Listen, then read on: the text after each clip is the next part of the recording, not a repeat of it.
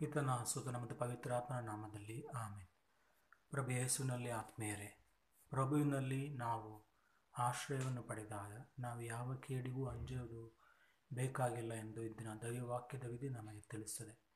ಮೊದಲನೆಯ ವಾಚನದಲ್ಲಿ, ಜುದೆಯ ನಾಡಿನ ಅರಸನಾದ ಎಜಿಕಿಯನು ತನ್ನ ಮೇಲೆ ದಂಡತಿ ಬರುತ್ತಿದ್ದಂಥ ಸೆನ್ನಾಚರಿ ಅವನ ಸೈನ್ಯದ ವಿರುದ್ಧ ದೇವಾಲಯಕ್ಕೆ ಹೋಗಿ ಪ್ರಾರ್ಥಿಸಿದಾಗ ಸರ್ವಶಕ್ತ ದೇವರು ಆಮೋಸ್ ಪ್ರವಾದಿಯ ಮುಖಾಂತರ ಅವನ ಪ್ರಾರ್ಥನೆಗೆ ಉತ್ತರವನ್ನು ನೀಡುತ್ತಾರೆ. ಮತ್ತು ಅದೇ ರಾತ್ರಿ ಪ್ರಭು ಸ್ವಾಮಿ ಸರ್ವೇಶ್ವರ ದಾವೀದನ ಜೊತೆ ಮಾಡಿದ ಒಡಂಬಡಿಕೆ ನೆನೆಸಿಕೊಂಡು ಸುಮಾರು ನೂರ ಎಂಬತ್ತೈದು ಸಾವಿರ ಸೈನಿಕರನ್ನು, ಸೆನ್ನಾಚರಿಬಿಗೆ ಸೇರಿದ ಸೈನಿಕರನ್ನು ದೇವರ ದೂತರು ಸಂಹರಿಸಿದರೆಂದು ನಾವು ಓದುತ್ತೇವೆ. ಹೀಗಾಗಿ ದೇವರು ತನಗೆ ಭಯಪಟ್ಟ ಅರಸನನ್ನು, ನಗರವನ್ನು ಜೆರುಸಲೇಂ ನಗರವನ್ನು ಕಾಪಾಡಿದರು ಎಂದು ನಾವು ಓದುತ್ತೇವೆ. ಆತ್ಮೀಯ ಸಹೋದರ ಸಹೋದರರು ದೇವರ ದಾರಿಯಲ್ಲಿ ನಾವು ನಡೆದಾಗ ದೇವರೇ ನಮ್ಮ ಪರ ಯುದ್ಧ ಮಾಡುವರು. ಶುಭ ಸಂದೇಶದಲ್ಲಿ ಪ್ರಭು ಯೇಸು ನಿನ್ನೆ ದಿನ ಬಿತರ ಬಗ್ಗೆ ತೀರ್ಪು ನೀಡಬೇಡಿ ಎಂದು ಹೇಳಿದರು. ಇಂದು ಪ್ರಭು ಯೇಸು ಪವಿತ್ರವಾದವುಗಳನ್ನು ನಾಯಿಗಳ ಮುಂದೆ, ಮುತ್ತುಗಳನ್ನು ಹಂದಿಗಳ ಮುಂದೆ ಹಾಕಬೇಡಿ ಎಂದು ಹೇಳುತ್ತಾರೆ. ಆಗಿರುವಾಗ ನಮ್ಮ ದೈನಂದಿನ ಜೀವಿತದಲ್ಲಿ, ನಮ್ಮ ಆಧ್ಯಾತ್ಮಿಕ ಜೀವನಕ್ಕೆ ಮುಖ್ಯವಾದವುಗಳ ಬಗ್ಗೆ ನಾವು ತಿಳುವಳಿಕೆಯಿಂದ ನಾವು ಆಲೋಚಿಸಿ ವರ್ತಿಸಬೇಕೆಂದು ಪ್ರಭು ನಮಗೆ ಕರೆ ನೀಡುತ್ತಾರೆ.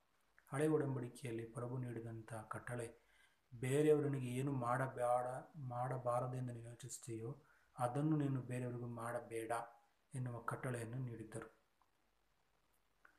ಇದು ನಕಾರಾತ್ಮಕವಾದ ಕಟ್ಟಳೆಯಾಗಿತ್ತು. ಆದ್ದರಿಂದ ಜನ ಏನು ಮಾಡಬಾರದು ಎಂದು ಯೋಚಿಸಿದರೆ ವಿನಃ ಏನು ಮಾಡಬೇಕು ಎಂದು ಯೋಚಿಸಲಿಲ್ಲ.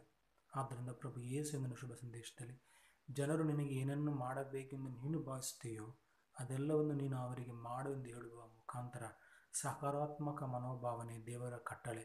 ಯಾವುದನ್ನು ಮಾಡಬಾರದು ಎಂದ ನಿಬಂಧನೆ ಮಾತ್ರ ಅಲ್ಲ ಮಾಡಬೇಕಾದ್ದನ್ನು ದೇವರ ಕಟ್ಟಳೆ ನಮಗೆ ತಿಳಿಸ್ತದೆ ಎಂದು ಪ್ರಭು ಈ ಮೂಲಕ ತಿಳಿಸ್ತಾರೆ ನಮ್ಮ ದೈನಂದಿನ ಜೀವಿತದಲ್ಲಿ ದೇವರ ಮಕ್ಕಳಾಗಿ ಬಾಳುವುದು ಇಕ್ಕಟ್ಟಾದ ಬಾಗಿಲ ಮುಖಾಂತರ ನಡೆಯುವುದಾಗಿದೆ. ಅಗಲವಾದ ಬಾಗಿಲು, ಈ ಲೋಕದ ಆಹ್ಲಾದ, ಸುಖ, ಸಂತೋಷ ಅಗಲವಾದ ಬಾಗಿಲಿನಂತೆ ಇರುತ್ತದೆ. ಹೋಗುವುದು ಸುಲಭವಾದರೂ ಅದರ ಅಂತ್ಯ ನರಕ, ಯಾತನೆ, ಸಾವು, ಶಾಪ ಆಗುತ್ತದೆ. ಇಕ್ಕಟ್ಟಾದ ಬಾಗಿಲಿನ ಮುಖಾಂತರ ನಾವು ಹೋಗುವುದಾದರೆ ನಮಗೆ ಬರುವಂಥ ನೋವು, ಚಿತ್ರಹಿಂಸೆ, ಅನ್ಯಾಯ, ಅನೀತಿಗಳ ಮುಖಾಂತರ ಪ್ರಭು ಯೇಸುವಿನ ಹೆಸರಿನಲ್ಲಿ ನಾವು ನಡೆಯುವರಾದರೆ ಪ್ರಭು ನಮ್ಮನ್ನು ಅವರವರನ್ನಾಗಿಯೇ ಸ್ವೀಕರಿಸುತ್ತಾರೆ, ಅವರ ಮಕ್ಕಳನ್ನಾಗಿ ಸ್ವೀಕರಿಸುತ್ತಾರೆ. ಆದ್ದರಿಂದ ನಮ್ಮ ದೈನಂದಿನ ಜೀವಿತದಲ್ಲಿ ಕ್ರಿಸ್ತಂಬರರಾಗಿ ಬಾಳಲು ನಾವು ಪ್ರಭಿನಲ್ಲಿ ಪ್ರಾರ್ಥಿಸೋಣ. ಸರ್ವಶಕ್ತ ದೇವರಾದ ಪಿತಾ ಮತ್ತು ಪವಿತ್ರಾತ್ಮರು ನಿಮ್ಮನ್ನು ಆಶೀರ್ವದಿಸಲಿ. ಆಮೇಲೆ